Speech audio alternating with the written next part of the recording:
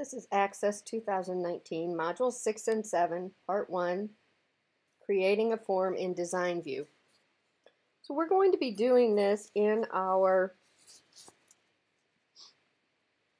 Lakewood database. This is the database that we used in Modules 1, 2, and 3.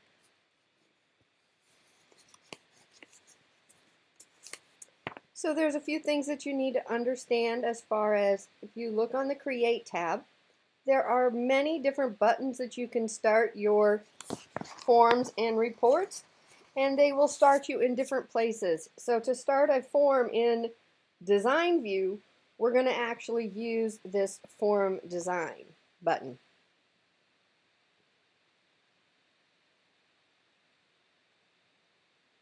The forms that we've used creating our wizard will all be changed based on the screen resolution. So the way the screen looks, or the form looks on the screen, will change based on this resolution. There is a technique called anchoring, which you can use to change that. So I'm going to go ahead and open up one of our forms. Open up this visit data. And if I go to the layout view, and then I go to the arrange tab, you'll see that you can anchor these items to different spots on the screen to help create, uh, create a screen that will look or a form that will look the same no matter the resolution that you are using. The book does go over more details about using this anchoring feature. We won't be using it in K201, but it is available should you need to be working in an environment with monitors of different resolutions. I'm going to close the visiting data form. All right, so we're going to start out working with Design View and create a form from Design we will use three different types of an item called a control. A control is anything that you add to a form. If it's a bound control, it means it is adding something that is connected to a piece of data in one of the tables. So if I go to the Design tab and I choose Add Existing Fields, I can then say show me all the tables and we're going to be adding fields from our billing table. So I'm going to click the plus next to billing and then I'm going to double click on the fields in the order I want them to be added. So I'm going to start with the visit ID. You see it adds a text box that is currently highlighted. The text box will display the values that are in the field. It is also adding a bound control, which is the label box. The label box will either contain the field name or the caption if there is a caption that was entered. So we can keep adding fields. The second field we're going to add is an invoice number followed by the fields in the order that they're listed. So we'll do the invoice date, amount, item, and finally paid.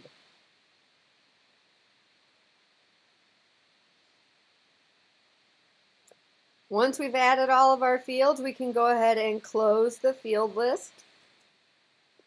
And then we're going to save our form because we're not using a wizard. We do have to save the object. So we'll click Save and we'll call this Billing Data.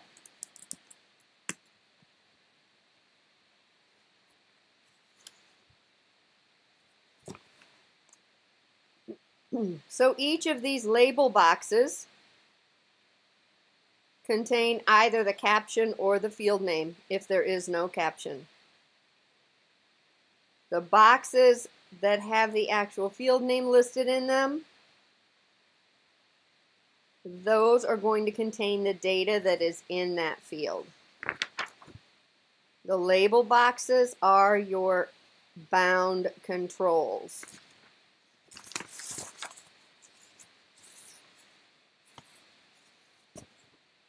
So if I want to move fields, I can click on the label box, hold the shift key down and click on the text box.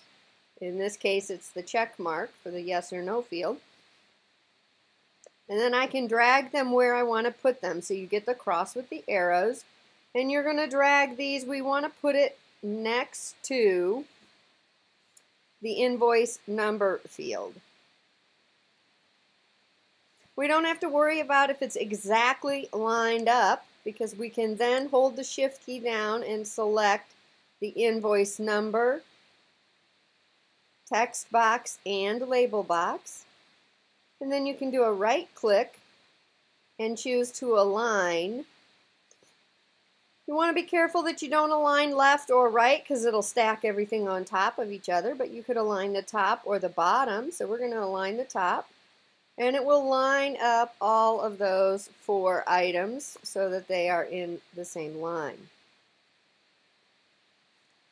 If we want to resize a field, we think that this field box is not large enough because we feel that some of our invoice items will be larger than it will fit there. So we can grab a corner button or one of these side arrows. These little buttons are called resizing arrows. When you hover over them and you get the arrow, then you can drag it down and it will enlarge that item.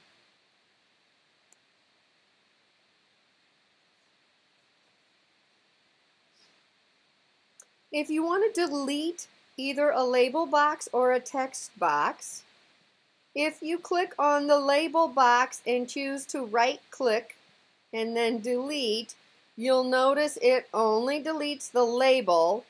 It does not delete the text box along with it. So if you want to delete one without the other, that's what you would do.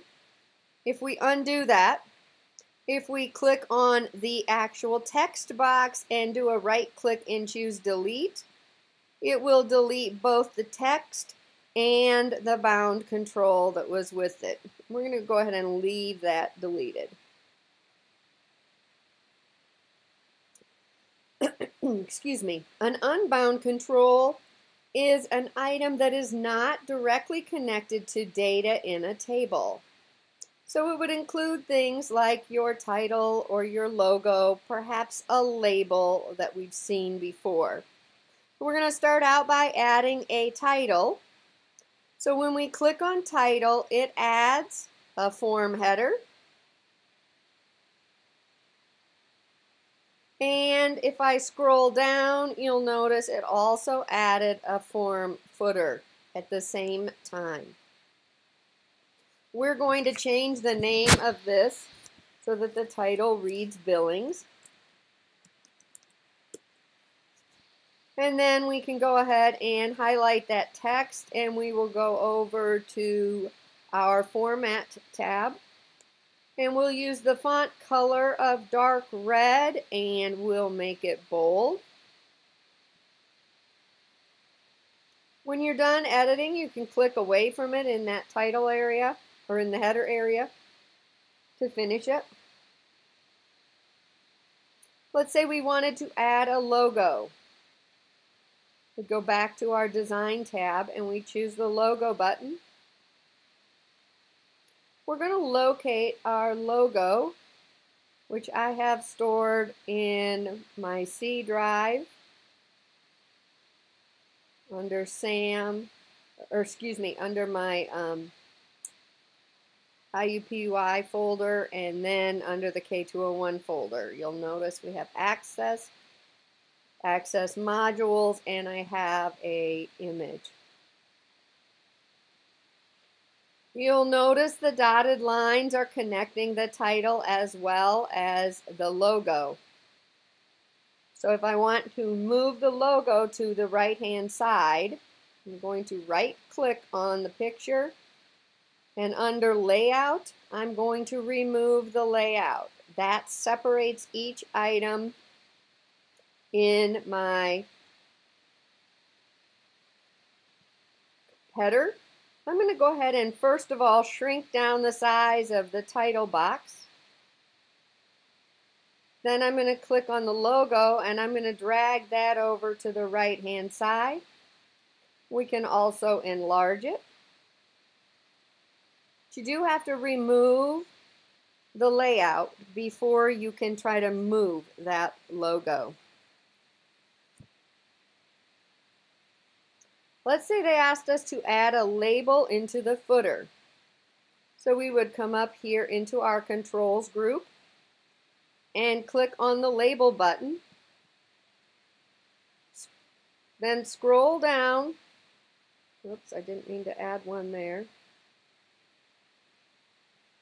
I'm going to delete that label that I started to add.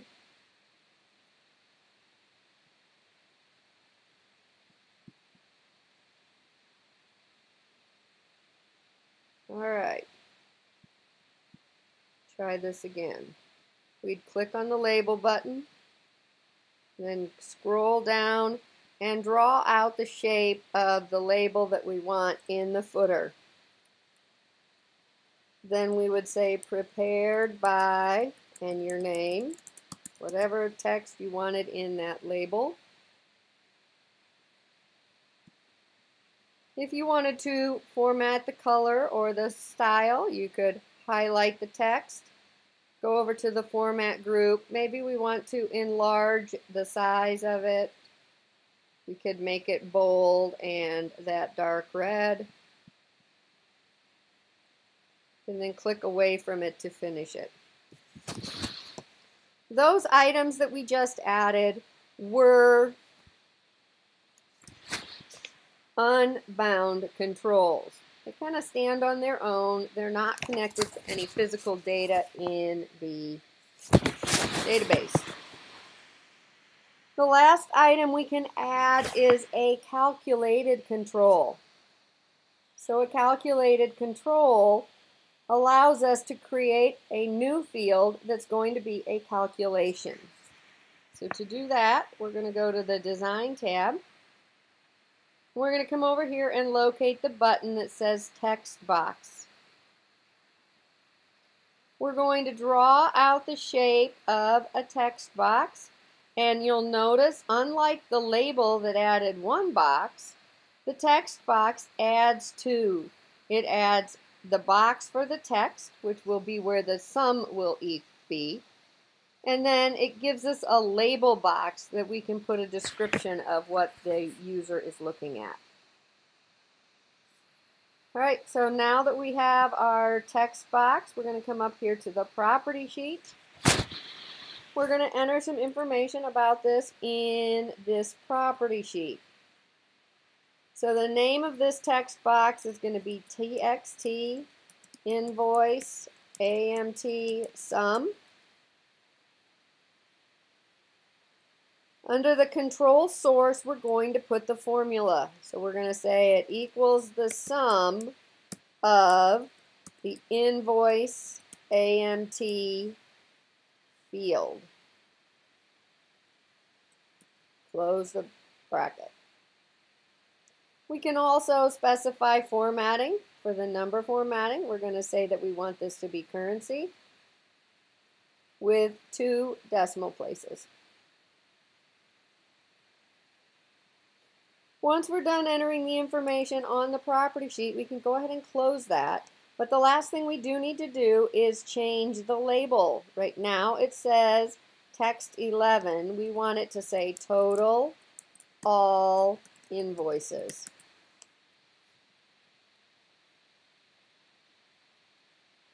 So this would be called a calculated control.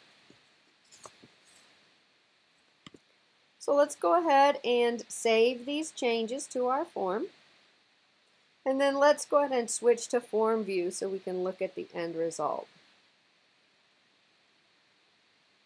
Now if you wanted to see how to move through the screen. This is called the tab order. So as you're tabbing through the fields, you can see you tab in the order that they were added.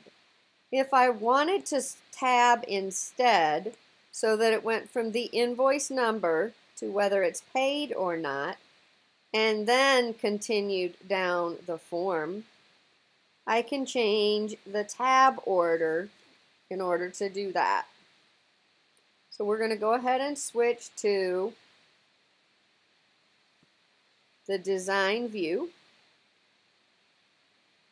And we're going to choose this button here under the tools group called tab order. You're going to want to move the invoice paid field so that it is below invoice number. So you click on it once when you see the long arrow, highlight it, then click on it a second time and hold the mouse down and you'll see a line. That line you then move to where you want the field to move. When you release the mouse, that will move the field.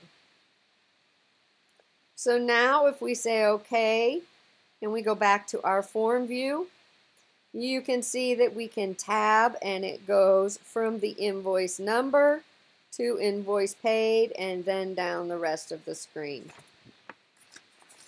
So that allows us to change the tab order of our form. And that's as complicated as it is to create a form in Design View. And that concludes this video.